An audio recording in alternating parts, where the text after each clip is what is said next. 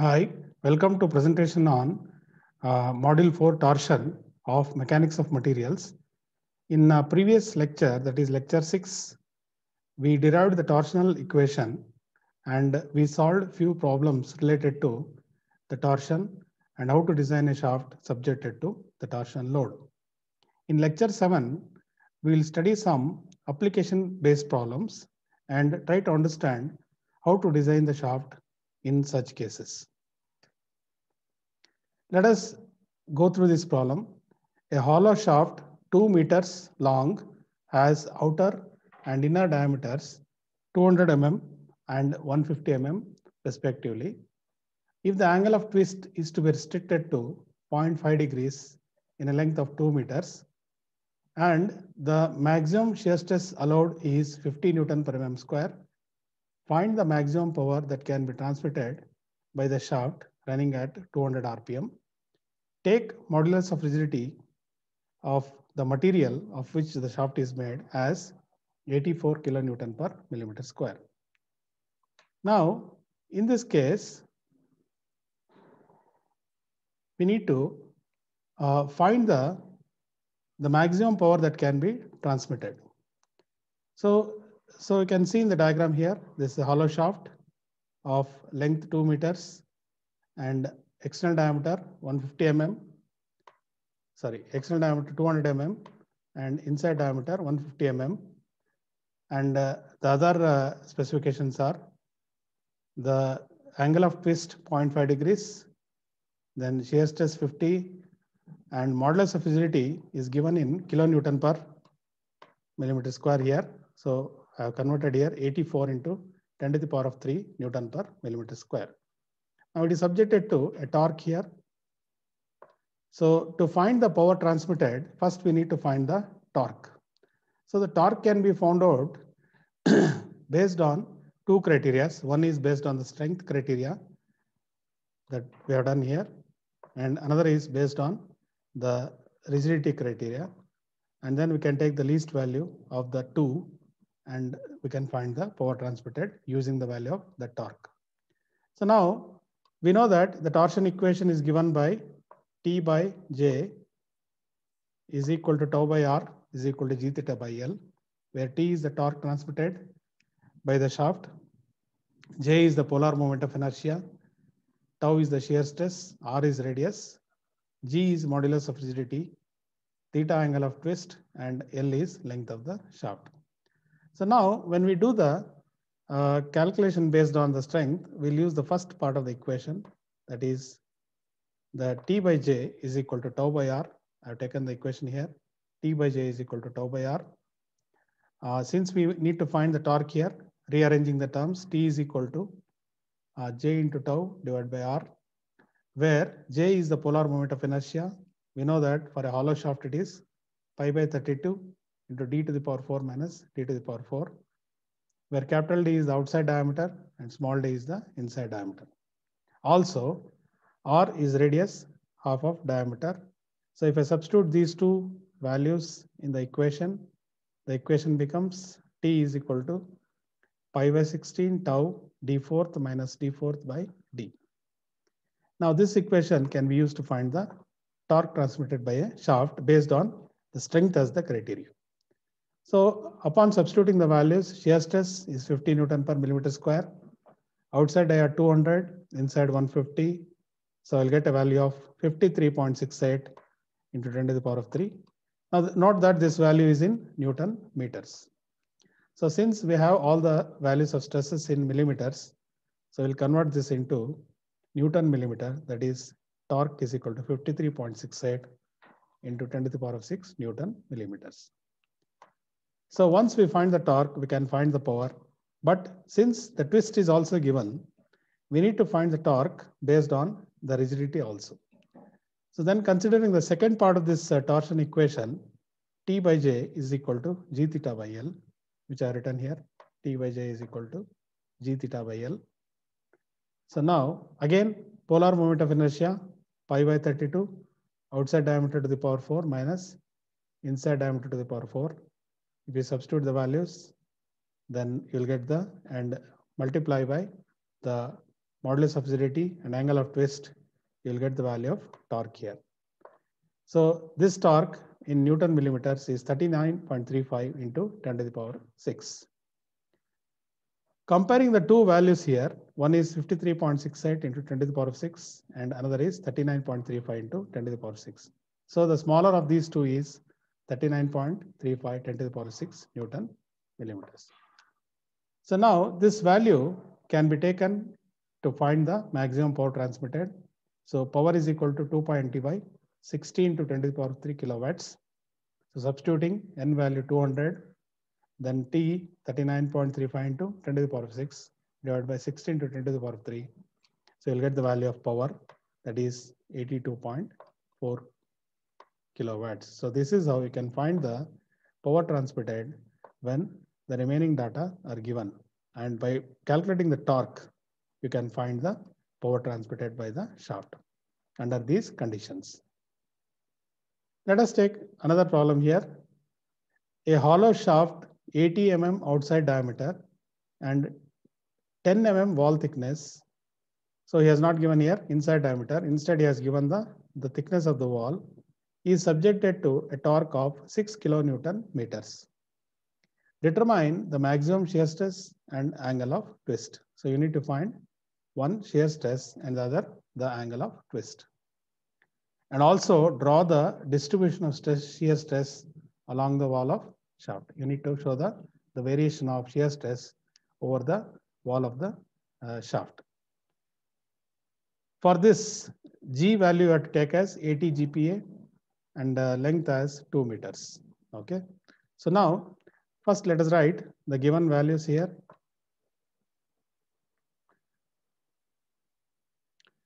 So now the length is given as 2 meters, outside diameter 80, thickness is 10 mm, then torque is 6 kilonewton meters. I'll convert into Newton millimeters. 6 into from kilonewton to newtons and meters to millimeters. So it is 6 into 10 to the power of 6 Newton millimeters. And uh, the G value is given as 80 GPa, that is 80 into 10 to the power 3 Newton per mm square. So now from the outside diameter and thickness given, we can find the inside dia, that is outside diameter minus 2 times the thickness. So you'll get as 60 mm. So now we need to find the shear stress and angle of twist here. First, let us find the shear stress by using the torsion equation. First part, that is T by J is equal to tau by R. So since we need to find the value of tau, rearranging the equation, tau is equal to T into R by J so J is the polar moment of inertia. We know that it is pi by 32 outside dia to the power 4 minus inside dia to the power 4. Okay. So the torque is uh, given that is 6 into 10 to the power of 6. Radius is half the diameter. And if you substitute the values, you'll get the, the value of the shear stress as 87.3 Newton per meter, millimeter square. So remember that this shear stress obtained is at the outermost fiber, outermost fiber of the shaft. That is at the, this is the value of, that we have obtained here. And now to find the angle of twist, I will use the second part of the equation that is tau by r is equal to g theta by L. Uh, since we need to find angle of twist, I will take the rearrange the equation theta is equal to tau into L by g into r that is 87.3 into 2000 divided by the value of g and radius, we'll get the value of theta in radians, 0.0545. So when I convert into degrees, the angle of twist is 3.31 degree. So we have found out both the shear stress and angle of twist. Now, the other part of the question is you need to find the, you need to show the distribution of shear stress along the wall of the shaft. So for that, what we'll do is we have the value at the outermost fiber. So we'll find at the innermost fiber by using again the torsion equation. T by J is equal to tau by R. So tau is equal to T into R by J. So again, you substitute the values here. You'll get the value of shear stress at the inner surface. So draw the shaft uh, with the outside diameter and inside diameter. You show the outside value and the shear stress at the inside surface. And by drawing the arrows, we can show that the shear stress varies linearly from the inner wall to outer wall uh, over, a period, over a distance of the radius of the wall. So you can see here how the shear stress is increasing from inside to outside. So the maximum value is at the outer surface and it is minimum at the inner surface. So the line can be extended back and it, it will, uh, you can show the arrows in the opposite way. So the variation is uniform, uh, linear along the radius, along the wall thickness. Okay, we'll go to the next problem. Determine the diameter of the solid circular shaft to transmit 75 kilowatts power at running at 200 RPM. Also determine the length of the shaft if twist is to be restricted to one degree over a length of, uh, that length is unknown over entire length. The maximum shear stress is 50 Newton per mm square and modulus of rigidity is 100 into 10 to the power of 3 Newton per mm square. So let us write first the, the, the given values here. So you can see that the power transmitted equation 2 pi nt by 60 watts. So let us substitute the values here power. Power is given in kilowatts. So 75 into 10 to the power of 3 into 60 by 2 pi n. n is 200. So you'll get the value of torque. Remember, this is in Newton meters. Convert it into Newton millimeters by multiplying by 10 to the power 3. So now you have the value of torque that is 3580 into 10 to the power 5 Newton millimeters. Once the torque is known, you can de design the shaft for its diameter. So using the torsion equation, torsion equation, first part, T by J is equal to tau by R.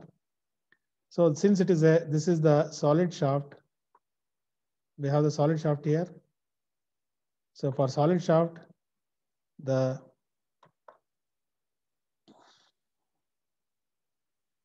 the equation is pi by 32 d fourth and r is equal to d by 2.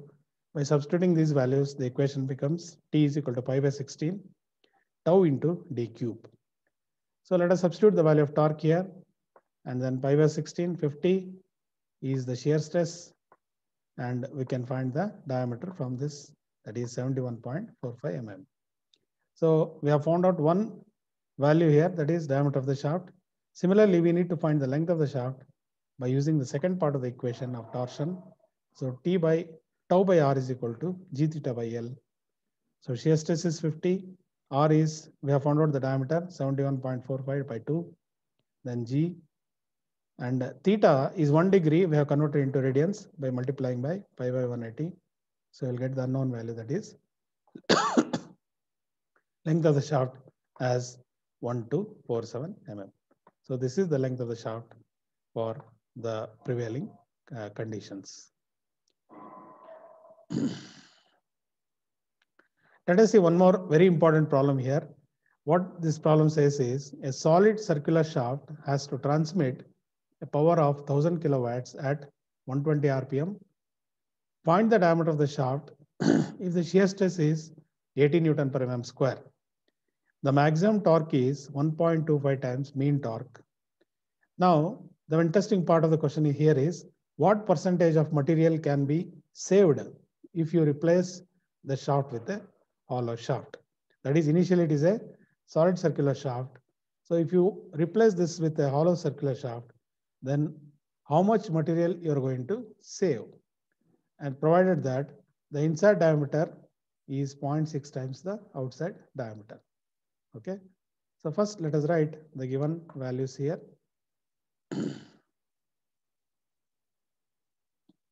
Power is 1000 kilowatts, speed 120 RPM, shear stress is given.